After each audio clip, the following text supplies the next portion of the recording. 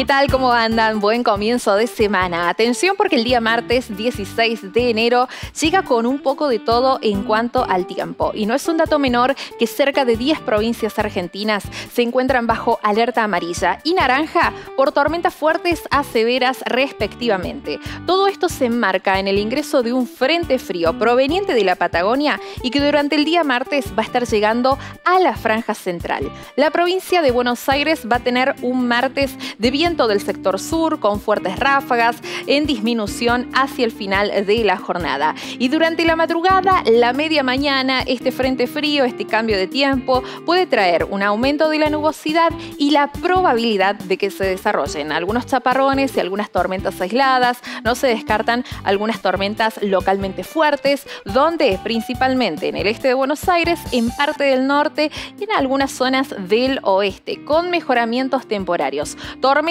que pueden incluir abundante caída de agua en cortos periodos de tiempo, ráfagas de viento, ocasional caída de granizo y tal como vemos en pantalla, actividad eléctrica. No es un dato menor que el norte de la provincia de Buenos Aires se encuentra bajo alerta amarilla por estas tormentas fuertes a severas que les venía explicando. Cuando llegan los mejoramientos temporarios, ¿va a mejorar la situación durante el día martes? Sí, luego el viento del sector sur se lleva las nubes, queda nubosidad en disminución, una jornada de cielo parcialmente nublado a partir de la segunda parte del día, con el viento sur prevaleciente y sobre todas las cosas se lleva la humedad. Hablamos de un cambio en la masa de aire, un ambiente un poco más seco y más fresco, principalmente durante el final del día martes 16 de enero.